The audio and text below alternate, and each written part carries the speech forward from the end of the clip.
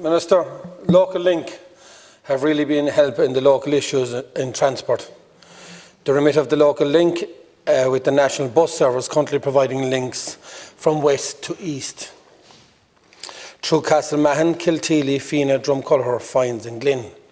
And delighted to be working with them to provide uh, the bus for the rural areas, stop to stop. And the demand of door to door to pick up for people that are in need, that need to be picked up at their door for uh, different services. They also provide that. And recently approved from Granagh to Limerick. Again, this is for second and third level students who now cannot get accommodation in, uh, uh, within the, the third level um, areas. So now they're actually staying at home, so they need to get transport in. But the issue that we're having is that it often can take three to four stops or different connections before they actually get to the likes of LIT and UL and Limerick.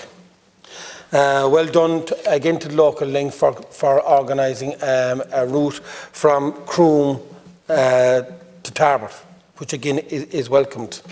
Um, and that also brings in the likes of my, my own local place, which is Ballingarry, uh, Fines, Glin. And a recent campaign has actually now put on a bus service and we have a new bus now coming from Charleville and we'll welcome something from Cork because it comes through Limerick and gets our students into, into the bus station. And it's a half seven start in the morning that they actually start at which actually means that they can actually get to their colleges on time. And again that will feed into the likes of the Bury and the Finas and the communities that they can actually come to uh, the likes of Ross Cross or uh, any other areas that are Chrome to be picked up. At least they can get to school because they can't afford a car or the insurance of a car so at least that is helping but Minister, I have an issue in, in Dromcollogher, and we, you're talking about free buses for, for students to go to school.